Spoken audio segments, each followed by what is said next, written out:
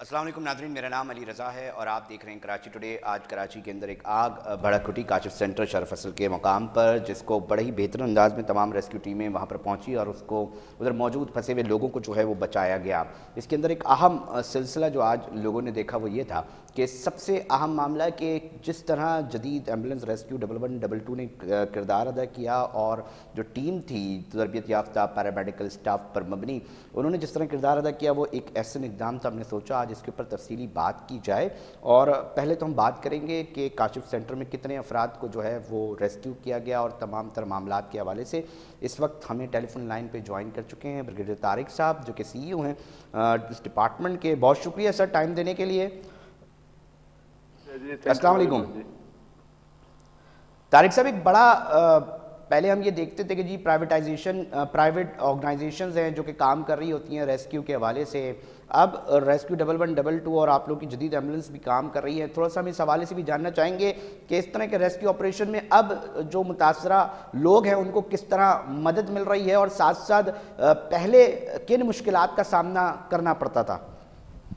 सबसे पहले तो बहुत शुक्रिया कि आपने वक्त दिया।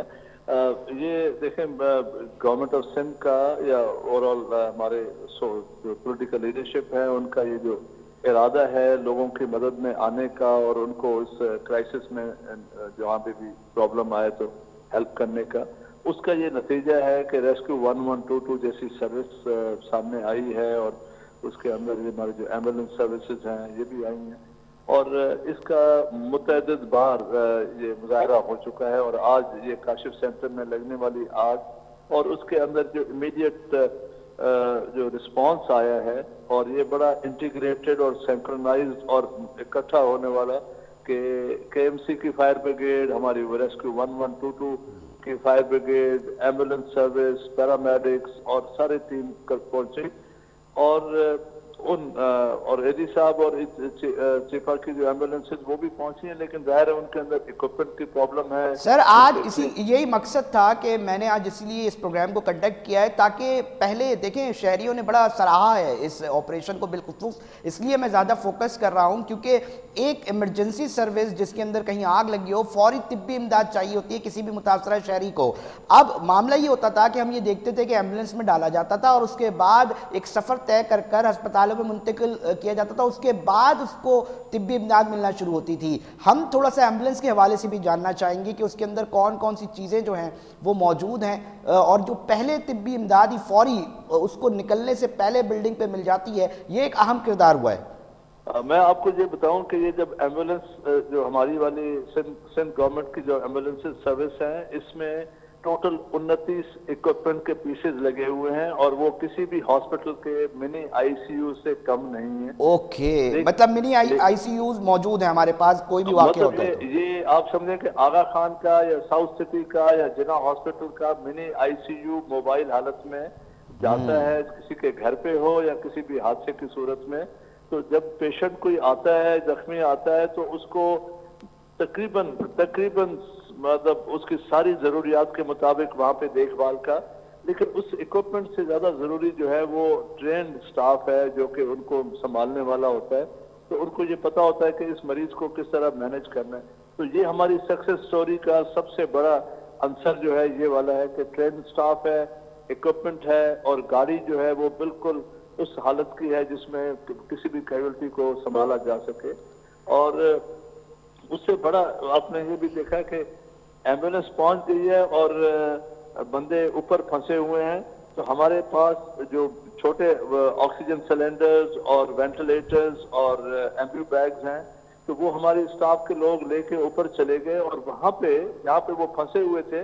उनके न, उनके मुँह पे उनके नाक पे वो सारी ऑक्सीजन मास्क चला दिए ताकि वो आग और धुएँ से बचें और उनको वहाँ से ही फ़र्स्ट एड शुरू हो गई और रेस्क्यू शुरू हो गए और एंबुलेंस तक पहुँचने के बाद तो ज़ाहिर है वो बिल्कुल ही अच्छे हाल में नहीं एक बहुत बड़ा इकदाम है यकीनी तौर पे शहरियों ने जिस तरह सराहा है इसी बुनियाद पर मैंने ये सोचा है कि आज तारिक साहब से बात की जाए और और भी हम थोड़ी डिटेल जानना चाहेंगे कि कौन कौन से सेगमेंट पे काम किया जा रहा है और साथ साथ इस काशिफ सेंटर के हवाले से रेस्क्यू ऑपरेशन के हवाले से कितने अमले ने जो है वो पार्टिसिपेट किया कौन कौन सी गाड़ियाँ मौजूद थी तारिक साहब हम चाहेंगे कि आप इस हवाले से भी नाजरीन को आगाह करें। जी जजाकल्ला इसमें तकरीबन हमारे कोई बारह के करीब फायर टेंडर्स थे, तीन स्नॉकल थे, और हमारे कोई सोलह के करीब एम्बुलेंसेस थी, और केएमसी की fire brigade rescue one one two two के आबिद शेख साहब वो खुद भी आए हुए थे, हमारे जो एंबुलेंस सर्विस के जो डिस्ट्रिक्ट मैनेजर्स हैं, और स्टाफ सीनियर स्टाफ आए हुए हैं। वो सारे आए हुए थे। और 62 बासठ के करीब जो इस वक्त जो अफराद हैं, वो बाहिफाजत निकल चुके हैं और उनकी ट्रीटमेंट जारी है। और उम्मीद है कि इनशाला बाकी कोई ऐसा अल्लाह ताला करे, कोई कोई ऐसा छुपा हुआ या कोई हम, अनदेखा, कोई हमारा साथी अंदर ना हो। और हमें उम्मीद है कि ये सारे खैरियत से निकल आएँगे। लेकिन ये एक बहुत ही मरबूत और इंटीग्रेटेड किस्म का की एक मिसाल उभर के सामने आ रही है, जिसमें city government government of Sindh और उनके इदारे सारे मिलकर ये काम कर रहे हैं। तारिक साहब एक मुनफरद चीज़ और भी हमें देखने को मिली कि खवतिन रजाकार भी मौजूद थी रेस्क्यू की आपकी जानब से। थोड़ा इस हवाले से बताइएगा कि कितनी तादाद में ये खवतिन को जो है वो भर्ती किया गया है और ये किस लेवल पर चीज़ों को जो है वो एग्जीक्यूट कर रहे हैं। थोड़ा सा इस हवाले से भी हम चाहेंगे आपका पॉइंट ऑफ़ व्यू आए। जी थैंक यू भाई थैंक यू इसमें हमने अभी एक एफर्ट शुरू की है कि जेंडर इक्वालिटी के ऊपर। और इस वक्त हम तकरीबन कोई 2400 लोगों लोग हैं हमारे पास उन 2400 में से कोई 270 के करीब खातन हैं। हमारा इरादा है कि इनको तकरीबन कोई 800 900 के करीब किया जाए 30 परसेंट तो इमीडिएटली किया जाए लेकिन हम अभी पहुँचे हैं कोई 11 12 परसेंट के ऊपर।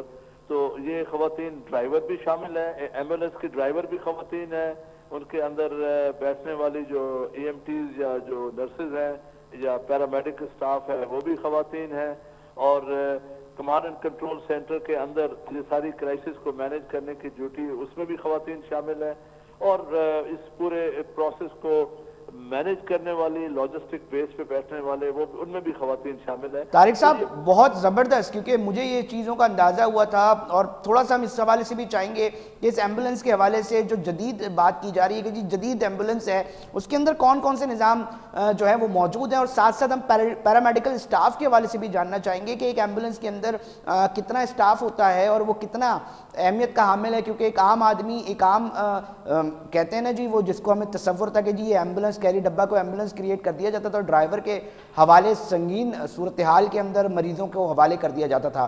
तो हम इसका थोड़ा डिफ्रेंशिएट चाहेंगे आपसे, कि आप हमें बताएँ। जी शुक्रिया। देखिए, हमारे पास जो एंबुलेंस है, उसमें जो कार्डियक एंबुलेंस थी, तीन किस्म की एंबुलेंस है। बेसिक एंबुलेंस है एडवांस एंबुलेंस है और कार्डियक एडवांस है। तो कार्डियक एडवांस के अंदर तीन पैरामेडिक और डॉक्टर्स बैठते हैं ड्राइवर पैरामेडिक और ईएमटी तीन लोग बैठते हैं एडवांस के अंदर और बीएलएस के अंदर दो लोग बैठते हैं।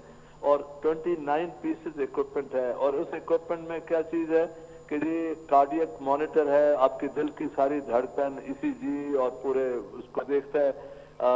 पेशेंट मॉनिटर है जो आपके सारे सात आठ वाइटल जो हैं, वो सारे देखता है। आपके वेंटिलेटर शामिल हैं। हमारे पास तकरीबन कराची में सौ के करीब एम्बुलेंसेस तो ऐसे हैं जिनके अंदर वेंटिलेटर लगे हुए हैं और वेंटिलेटर का मतलब है कि एक मरतबा वेंटिलेटर इस्तेमाल होता है तो तकरीबन सत्तर हज़ार रुपए के करीब खर्चा आ जाता है। तो वो हम इस वक्त तक फोर्टी सिक्स थाउज़ेंड छितालीस हज़ार लोगों को कराची में वेंटिलेटर की ट्रीटमेंट दे चुके हैं और वो अल्लाह तला का शुक्र है कि वो उनमें से सर बहुत बड़ी बात बता रहे हैं आप मुझे। इसका इल्म तो मेरे ख्याल से मुझे अभी हुआ है तो बहुत सारे देखने वालों को भी इस चीज़ का अंदाज़ा हो रहा होगा। एक सवाल पैदा होता है। तारिक साहब, हम ये भी जानना चाहेंगे कि अक्सर हम ये देखते हैं कि जी जब भी एंबुलेंस बुलाई जाती है तो उसके ऊपर कुछ चार्जेस जो हैं वो किसी भी मुतासर शख्स, क्योंकि जो भी एंबुलेंस बुला रहा होता है, वो किसी ना किसी इंतहाई परेशानी की सूरत हाल में होता है। या तो उसके कोई वालिद, कोई वालदा, कोई और उसके घर के अंदर शदीद इस कर्ब में मुबतला होता है कि उसको अब अस्पताल पहुँचना होता है। चार्जेस क्या लिए जाते हैं आपकी एंबुलेंस के? जो ये सर्विसेज़ आप बता रहे हैं इतनी इतनी जो सर्विसेज़ है, वो मिल रही है तो चार्जेस भी हैं कोई क्या नहीं? हंड्रेड परसेंट हंड्रेड परसेंट सौ फ़ीसद फ्री ऑफ़ कॉस्ट है। किसी भी हमारे किसी भी इदारे के किसी भी फ़र्ज़ शख्स को ये इजाज़त नहीं कि वो किसी से पैसे मांग सके किसी से पैसे ले सके या कोई उनसे। हाँ बहुत सारे दोस्त ऐसे हैं जो इस्तेमाल करने के बाद कहते हैं कि जी हम आ, आपको कुछ पैसे देना चाहते हैं हमारी मर्ज़ी है कि हम देना चाहें। तो उनको भी वो बड़े बादब तरीके से, इज़्ज़त से बताते हैं कि सर हमें इजाज़त नहीं है। लेकिन अगर आपने डोनेशन देनी है कंट्रीब्यूशन करना है, या कुछ देना चाहते हैं तो आप इस अकाउंट जो हमारे ऑफ़िस का अकाउंट है, ताकि उसमें आप जमा कराएँ, आपका वो सारा पैसा सीधे तरीके से जाएगा और वो ऑफ़िस वाले आपको रसीद वगैरह भेजेंगे। तो ये आम हमारे जो शहर के लोग हैं, या सिंध के लोग हैं, या पाकिस्तान के लोग हैं उनके लिए ये ज़ीरो रुपीज़ ज़ीरो कॉस्ट है जी बिल्कुल फ्री है। तारिक साहब, हम थोड़ा सा इस हवाले से भी मजीद डिटेल्स यकीनी तौर पे मेरे लिए इसलिए भी है क्योंकि एक तो एक बड़ा रेस्क्यू ऑपरेशन होते हैं और आग लगने के वाकयात कराची शहर में एक बड़ा मसला है। ताजरों को भी बड़ा मसला इसके सामने रहता है कि जी फ़ौरन जो है वो आग लग जाती है उसके बाद देखते ही देखते जो है वो सिलसिला बढ़ जाता है। इसमें भी सेकेंड फ्लोर पर आग लगी थी तारों के अंदर और वो इस तरह पहुँच गई। हम थोड़ा सा इस हवाले से भी रेस्क्यू ऑपरेशन के हवाले से भी थोड़ा सा जानना चाहेंगे कि थोड़ा सा ये बताइएगा कि जब मतलब कितने टाइमली पहुँचना होता है किस तरह डिटेल में चीज़ें आती हैं और बिलखसूस अगर हम काशिफ सेंटर की बात करें जहाँ पर आग लगी तो यहाँ पर आ, मिसाल के तौर पर अगर ये टीम नहीं होती जदीद तर्ज पर एंबुलेंस मौजूद नहीं होती तो क्या नुकसान हो सकता था? थोड़ा सा उस हवाले से भी हम चाहेंगे आपसे डिटेल्स ने और ओवरऑल इस वक्त काशिफ सेंटर में जो सूरत हाल है कितने लोग निकाले गए कितने लोग स्टैट्स क्या हैं थोड़ा सा हम चाहेंगे अपने नाजरीन को वो भी पता चल सके।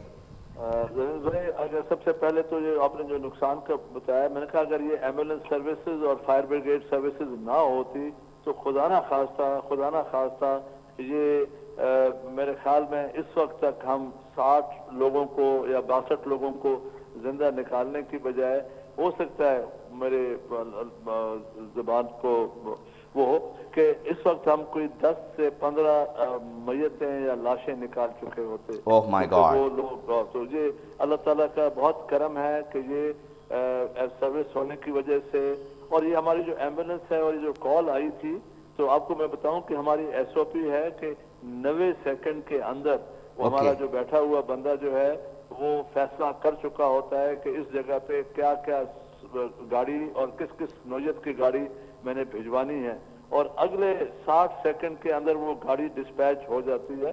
तो तकरीबन ढाई मिनट से लेके तीन मिनट के अंदर उस गाड़ियों को रवाना होना होता है और वो हो गई थी। और तारिक साहब कमाल ये है परवरदिगार का करम ये हुआ कि अब तक कोई इतला नहीं आई है किसी भी जानी नुकसान की है। सही है सर?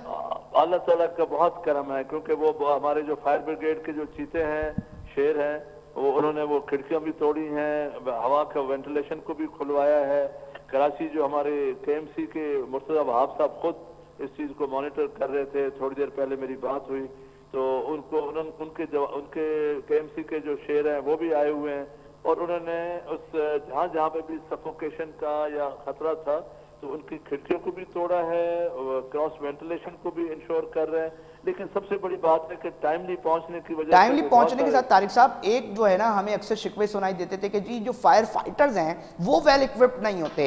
उनके पास जो है ऐसे उनके कपड़ों के अंदर उसके ऊपर बात की जाती थी उनके ऊपर ऐसे हालात नहीं मौजूद होते थे कि कम से कम जो बजान बचाने जा रहा है वो खुद कितना सिक्योर हो। तो इस हवाले से भी थोड़ा सा बताइएगा क्योंकि कुछ फुटेजेस मेरे सामने आई थी उसके अंदर बड़े वेल इक्विप्ड नज़र आ रहे थे फायर फाइटर्स जी जी, हमारी ये जो फायर फाइटर जो टीम है और जो उनकी पूरी जो ट्रुप्स हैं, वो सारे के सारे उस फायर रेजिस्टेंट जो क्लोथिंग है, वो और प्लस सर के ऊपर जो इनके हेलमेट्स हैं, वो सारे फायर ब्रिगेड टेस्टेड हेलमेट्स हैं।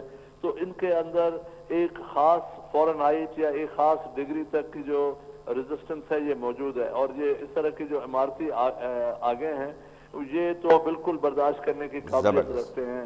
और अगर कोई बहुत ही कोई हैवी केमिकल किस्म की आ, कोई आग हो तो उसमें हमें एक्स्ट्रा इक्विपमेंट लाना पड़ता है। तो ये आ, इतना अच्छा इक्विपमेंट है कि हमारे लोगों को अपनी हिफाजत करते हुए बाकी लोगों की मदद करने में बहुत ही कारामद रहता है। जी सर हम तो दुआ गो है हमारी टीम की जानब से कि आप इसी तरह इस शहर सूबे की खिदमत करते रहें। एक बड़ा बड़ा काम जो है वो किया जा रहा है। बहुत शुक्रिया।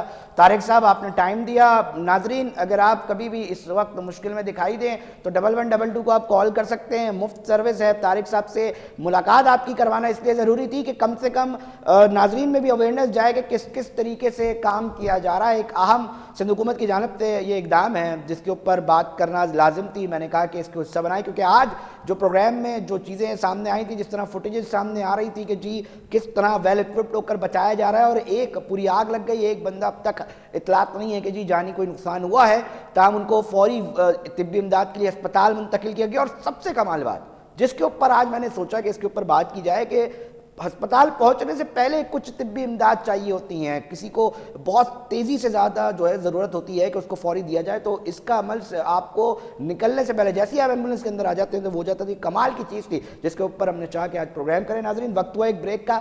हमारे साथ जुड़े रहिएगा एक आम स्टोरी है। डिफेंस के अंदर एक बड़ा मामला सामने आया है और कराची में कुछ ज़ाती रंजिशों के बाइस और कुछ मामूली तक कलामी बंदे कत्ल हो रहे हैं। इसके ऊपर बात करेंगे।